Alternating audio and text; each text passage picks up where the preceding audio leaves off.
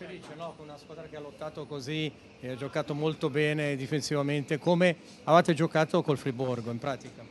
Sì, contento della prestazione, chiaramente abbiamo giocato una partita molto migliore di gara 1, siamo, siamo soddisfatti di, di, come abbiamo giocato stasera, però è una serie di playoff, quindi alla fine 1-1 la serie e non abbiamo ancora vinto niente.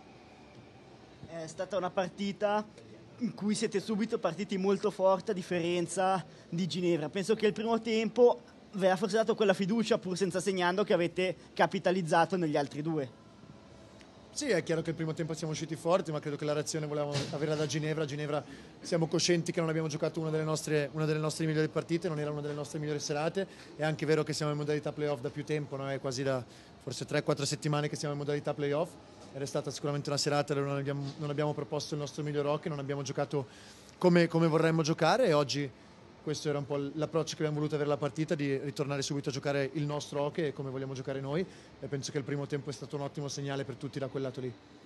Tattico, non so se tu abbia cambiato qualcosa per questa partita, però si è vista una partita al contrario un po' di quella di Ginevra, dove il vostro slot è stato protetto molto meglio, perché sappiamo che lì Ginevra è una squadra che fa molto male anche dietro la porta, mentre siete riusciti a penetrare meglio nel loro slot, si sono visti diversi due contro uno, eh, avete saltato spesso la linea blu con eh, l'uomo in più, hai cambiato tu qualcosa? Ma penso che i due contro uno sono più verso la fine della partita, quando ovviamente loro cercano di, di fare all-in, no? cercano di spingere completamente, completamente loro difensori nella nostra zona offensiva, cercare di metterci sotto pressione, chiaramente sono un po' aperti dietro, però non credo che era un trend, un trend di tutta la partita, mentre la copertura dello slot sappiamo che è un aspetto fondamentale, fondamentale del gioco contro di loro.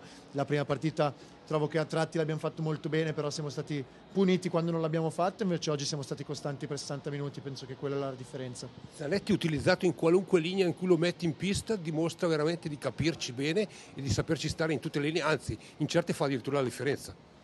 Sì, credo che parla, parla per, per, se stesso come ha giocato fino ad oggi, adesso penso che non sia la serata di parlare del, del, dei singoli, ma credo che Marco ha fatto un'ottima partita, sono sicuramente contento di lui. Però quel passaggio che ha fatto Carr per un giovane è tanta roba. Eh. Sì, anche per un anziano sarebbe tanta roba. Un'altra differenza rispetto a martedì è che avete fatto molti meno falli, siete anche stati bravi a non innervosirsi sì, dopo il fallo non fischiato da Articani, proprio su Zanetti.